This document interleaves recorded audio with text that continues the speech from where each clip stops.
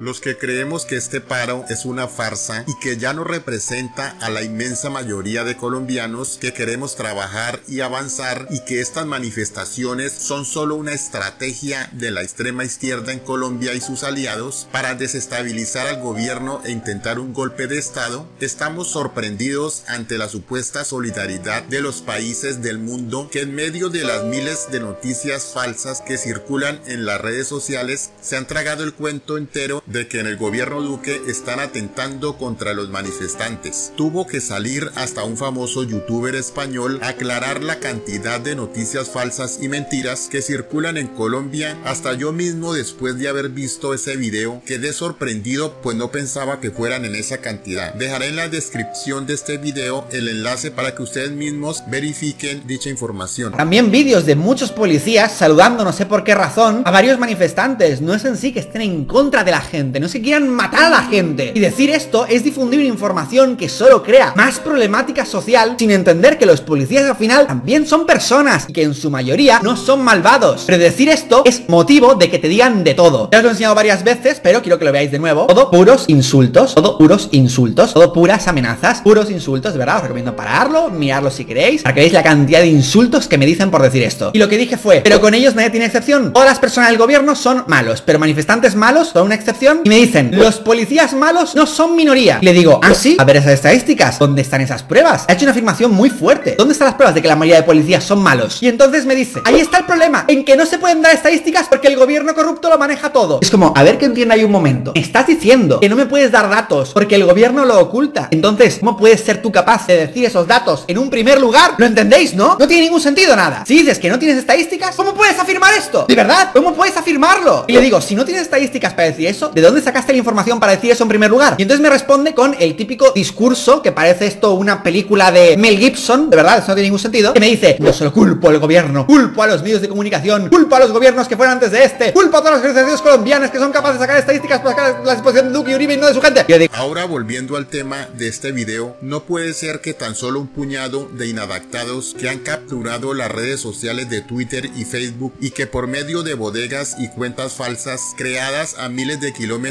le hayan hecho creer esta información errónea a gobiernos serios. En el siguiente informe de Redman Noticias, este informativo hace un descubrimiento contundente y se trata de más de 7000 cuentas falsas que han sido creadas desde servidores a miles de kilómetros de Colombia y que tienen a Facebook y Twitter prácticamente a su servicio, pues desde estos servidores y por medio de cuentas falsas, estas bodegas perratean las tendencias a favor de acabar con el supuesto paro y hacen tendencia en Colombia a favor de todas las falsas informaciones y la supuesta violencia que ha ejercido la fuerza pública contra los vándalos. Pero mejor veamos lo que informó Redman Noticias sobre este tema. Conformado por especialistas en inteligencia artificial y minería de datos, trabajó intensamente durante los últimos días y llegó a una conclusión contundente. Nosotros hemos ya detectado 7.753 cuentas que están trabajando en este momento en, Colombia. ¿Cómo trabajan estas cuentas en Colombia? Crean primero, Facebook tiene las páginas, las cuentas personales y los grupos de debate. Tras rastrear los servidores donde están alojadas las cuentas de usuarios falsos en Facebook, Instagram y Twitter, los expertos determinaron que esas cuentas, que postean contenido sobre lo que pasa en el país, fueron creadas a miles de kilómetros de Colombia. No eran cuentas de afuera, de, otro, de Ecuador o de Venezuela, no, no, no la mayoría de estas cuentas venían desde Bangladesh. Eh, entonces nosotros nos dimos cuenta de que estas cuentas de Bangladesh utilizaban un servidor chino y coreano.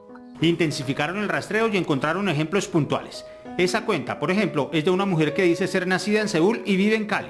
Se dedica a postear los videos en los que se acusa al SMAT de incendiar el hotel donde se alojaba. Al analizar sus publicaciones descubrieron que hasta hace cinco días no posteaba nada sobre el país al analizar cuentas similares que posteaban contenido sobre la crisis en el país, concluyeron que era lo que se denomina una granja de hackers. Una granja de robots o de trolls son sitios en donde hay cientos de cuentas falsas que se dedican a crear tendencias. Esta otra cuenta, por ejemplo, tiene 134 mil seguidores. Postea contenido sobre lo que pasa en Cali, pero su foto de perfil y sus contenidos jamás habían incluido nada sobre Colombia. Su creación fue rastreada en China. Estas cuentas fueron contratadas para qué? Para apoyar las manifestaciones, incendiar las redes sociales y crear confusión. Un tercer ejemplo es este perfil de un hombre llamado Mayer, que colgó un video en el que invitan a matar policías. Los expertos rastrearon su creación hasta un portal en China. Nosotros tenemos un software que nos permite rastrear las cuentas troll, porque lo hacemos esto para poder determinar, para poder separar las opiniones de las cuentas reales de las cuentas troll. El mismo fenómeno se ha repetido, aseguran, con granjas de falsas cuentas en diferentes países de Latinoamérica con patrones similares. Ya ocurrió en Ecuador, ya ocurrió en Chile y ya ocurrió en Argentina. Colombia tiene 39 millones de usuarios en redes sociales y los expertos en inteligencia artificial están convencidos de que quienes contratan a las llamadas bodegas tienen intereses políticos. La información que fue fruto de un trabajo de aproximadamente 250 horas será entregada dentro de las próximas horas a las autoridades cibernéticas de la Policía Nacional. Sumado a lo anterior, ahora aparece Iván Márquez ordenando a sus camaradas continuar con la guerra urbana y que tanto nos había prometido su amigo Juan Manuel Santos. Esto viene a confirmar que todo es un plan muy bien ejecutado por la extrema izquierda de querer crear caos, desabastecimiento y desesperación por parte de la gente del común que ya no quiere más paros, ni taponamiento de vías, ni saqueos a sus negocios. Además, ya se empiezan a ver casos en el que la gente que tiene algún negocio local comercial, cansada de este vandalismo desmedido, se está empezando a armar para defender lo que consiguieron con muchos años de esfuerzo y con estas acciones pretenden resguardar sus bienes a costa de lo que sea. Por otra parte, aunque mucha gente no entienda el siguiente término, estamos claramente ante una revolución revolución molecular disipada, que no es un término inventado por el expresidente Uribe. El otro día leía que gente ignorante le achacaba al uribismo haber inventado ese término, pero mejor que sea un experto y se trata de Alexis López, director de radio y televisión de Santiago de Chile, el que nos explique de qué se trata este término. Lo que quiero decir es que hay un actor o hay actores que son identificables en los modelos tradicionales revolucionarios. En revolución molecular los, actores se parecen a moléculas que son indistinguibles unas de otras. Entonces no sabemos contra qué estamos luchando, porque hay distintos actores de distintas fuentes, de distintos frentes, de distintos niveles socioeconómicos, de distintos referentes políticos y sociales, movimientos ciudadanos, etcétera, que actúan en forma molecular. No hay una coordinación centralizada, no hay verticalidad, eso es lo más importante. Entonces no tienes al frente un liderazgo único al cual adjudicar el proceso revolucionario. Y finalmente, disipada, que habitualmente estos actores se van a reunir y operar en la acción y coordinan en la acción y luego se disipan. Y no puedes entonces hacer un seguimiento a toda una estructura que haya detrás, por lo cual... Permítame una pequeña interrupción, pero claro, es molecular y es disipada, pero a la hora de producir una situación preinsurreccional, ponen, como en el caso de Chile, al borde del abismo al sistema de derecho y al sistema político constitucional. O, por llamarlo de alguna manera, algo de eso se pretende hacer, por ejemplo, en Estados Unidos, aunque no lo logran hacer todavía, utilizando esta muerte lamentable de Floyd para cuestionar el orden constitucional. Pero, digamos, se han derribado estatuas como la de Washington, como la de Cervantes, como la de Andrew Jackson, pero la estatua de Lenin en Seattle está fuerte y firme. Eso es más o menos a lo que usted se está refiriendo.